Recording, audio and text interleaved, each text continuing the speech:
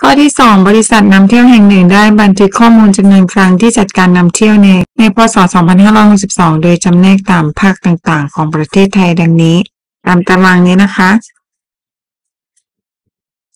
ข้อที่ 1 จงเขียนแผนภูมิรูปภาพ แผนภูมิรูปวงกลม และแผนภูมิแท่ง แสดงจำนวนครั้งที่บริษัทแห่งนี้จัดการนำเที่ยวในพศ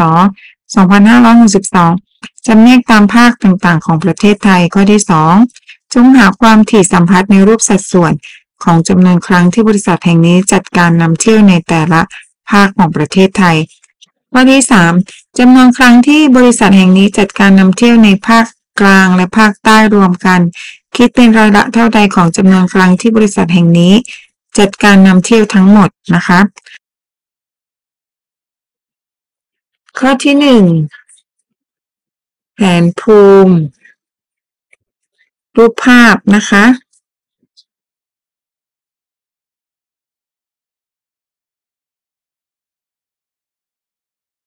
เราก็จะแทนด้วยกระเป๋านะคะ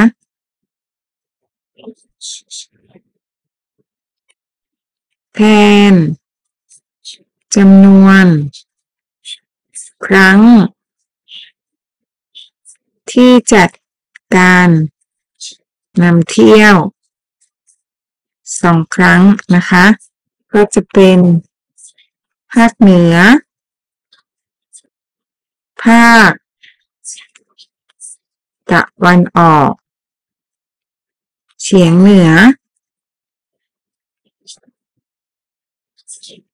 ภาคกลาง ภาคตะวันออก ภาค ตะวันตก แล้วก็ภาคใต้นะคะ ภาคเหนือมีสามนะคะ ก็จะเป็นหนึ่งรูป กับอีกครึ่งหนึ่งนะคะ ต่อไปภาคตะวันออกเฉียงเหนือ มีห้านะคะ ก็จะเป็นสองรูปครึ่งนะคะหนึ่งสองต่อไป ภาคกลางสิบนะคะ ก็จะเป็นห้ารูปนะคะ หนึ่ง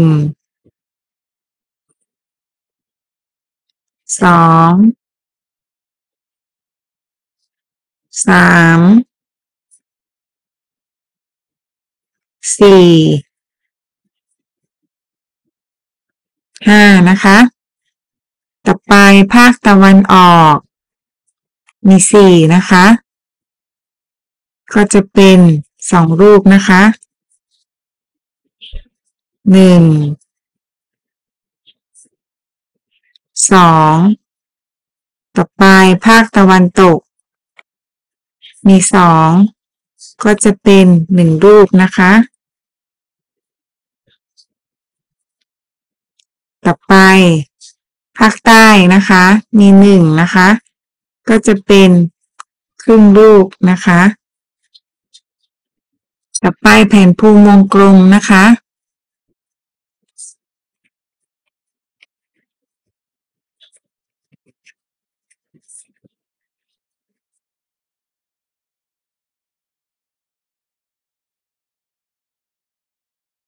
จำนวน ครั้ง ที่จัดการนำเที่ยว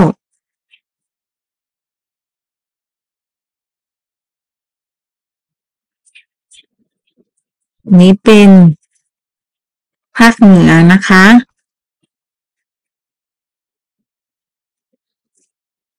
ภาค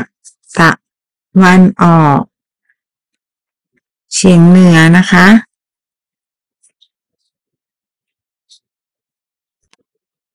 ภาคกลาง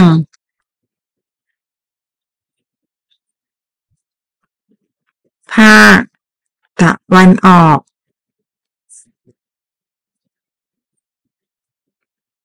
ภาค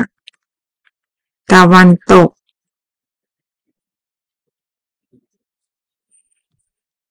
ภาคใต้นะคะ วงกลมก็จะมีขนาดเท่ากับ 360 องศานะคะ มาเริ่มกันที่ภาคกลางนะคะ ภาคกลางมี 10 นะคะ ก็จะเป็น 10 ส่วน 25 คูณด้วย 360 นะคะ 55 52ห้าหนึ่งเป็นห้าห้าเจ็ดห้าสองเป็นสิบก็จะเท่ากับ หนึ่งร้อยสี่สิบสี่องศานะคะ เราก็ใช้ครึ่งวงกลมวัดนะคะ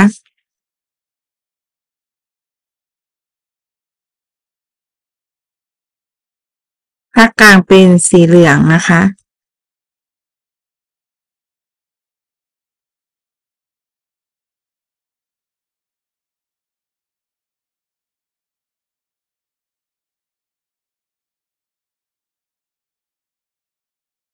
ต่อไปภาคตะวันออกเฉียงเหนือมีห้านะคะ ก็จะเป็นห้าส่วนยี่สิบห้าคูณด้วยสามร้อยหกสิบก็จะเท่ากับเจ็ดสิบสององศานะคะ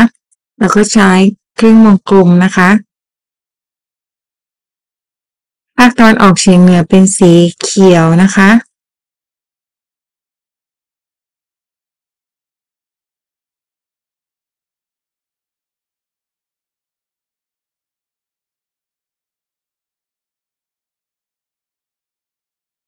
ต่อไปภาคตะวันออกมีสี่นะคะ ก็จะเป็นสี่ส่วนด้วยยี่สิบห้าคูณด้วยสามร้อยหกสิบนะคะ ก็จะได้เท่ากับห้าห้ายี่สิบห้าห้าเจ็ดสามสิบห้าห้าสองเป็นสิบก็จะเป็นห้าสิบเจ็ดจุดหกนะคะ ก็จะได้ ภาคตะวันออกเป็นสีชมพูนะคะ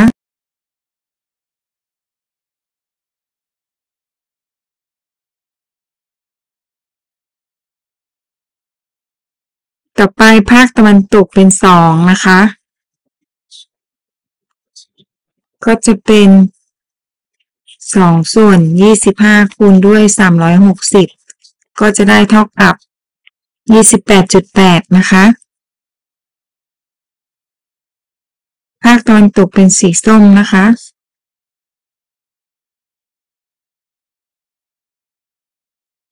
ต่อไปภาคใต้มีหนึ่งนะคะหนึ่งส่วนด้วยยี่สิบห้าคูณด้วยสามร้อยหกสิบก็จะได้เท่ากับสิบสี่จุดสี่นะคะภาคใต้เป็นสีแดงนะคะ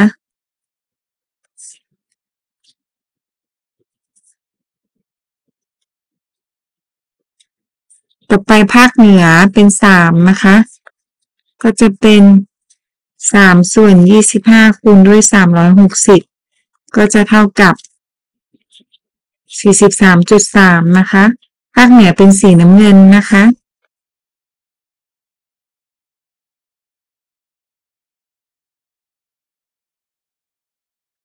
ตรงนี้ก็จะเป็นสิบ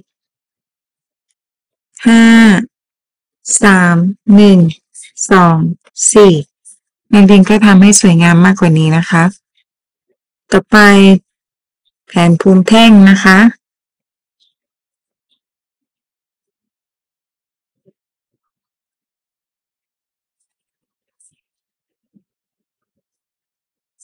จำนวน ครั้ง ที่จัดการนำเที่ยว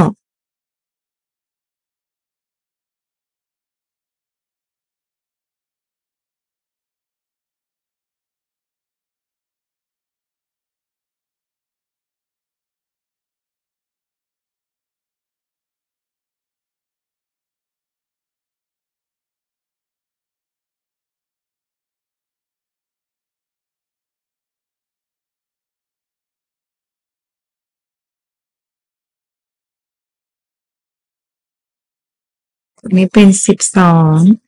สิบ แปด หก สี่ สอง ศูนย์นะคะ เริ่มกันที่ภาคเหนือนะคะ ภาคเหนือมีสามนะคะ ก็จะเป็น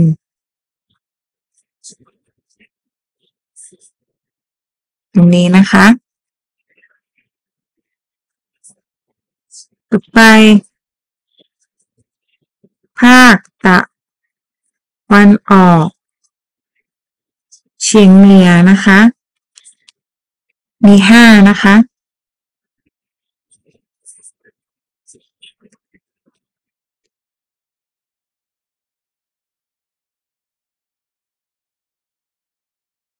ต่อไปภาคกลางนะคะ มีสิบนะคะ ก็จะเป็นตรงนี้นะคะ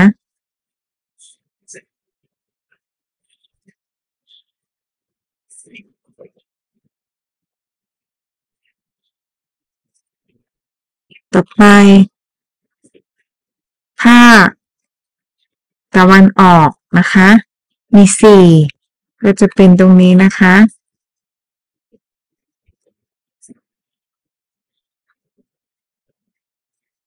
ต่อไป ภาคตะวันตก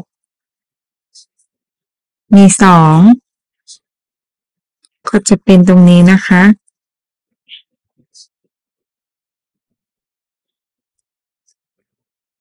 ต่อไป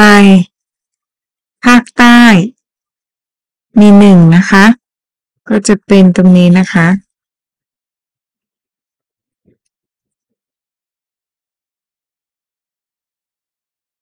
ต่อไปข้อสองนะคะ เราก็จะเขียนตารางนะคะ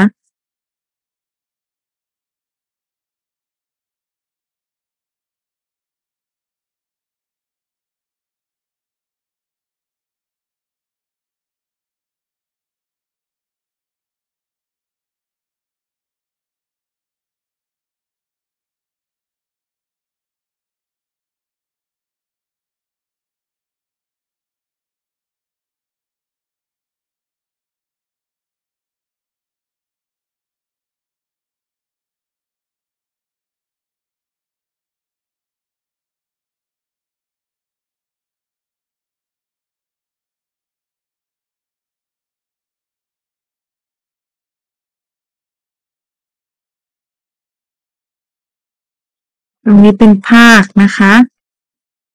จำนวนครั้ง ที่จัดการนำเที่ยว ความที่ สัมพัทธ์อันนี้ก็จะเป็น เหนือตะวันออก เฉียงเหนือ กลาง ตะวันออก ตะวันตก ใต้ รวมภาคเหนือสามครั้ง ตะวันออกห้าครั้งภาคกลางสิบตะวันออกสี่ตะวันตกสองใต้หนึ่งรวมยี่สิบห้านะคะ ความถี่สัมพัทธ์ก็จะเป็นสามหารด้วยยี่ห้าก็จะเป็นศูนย์จุดหนึ่งสองห้าหารด้วยยี่สิบห้าก็จะเป็นศูนย์จุดสองศูนย์สิบหารด้วยยี่สิบห้าก็จะเป็นศูนย์จุดสี่ศูนย์สี่หารด้วยยี่สิบห้าก็จะเป็นศูนย์จุดหนึ่งหกสองหารด้วยยี่สิบห้าก็จะเป็นศูนย์จุดศูนย์แปดหนึ่งหารด้วยยี่สิบห้าก็จะเป็นศูนย์จุดศูนย์สี่ รวมเป็นหนึ่งนะคะ ต่อไปข้อสามจำนวนครั้ง ที่ บริษัทแห่งนี้ จัดการนำเที่ยว ในภาคกลาง และภาคใต้ รวมกัน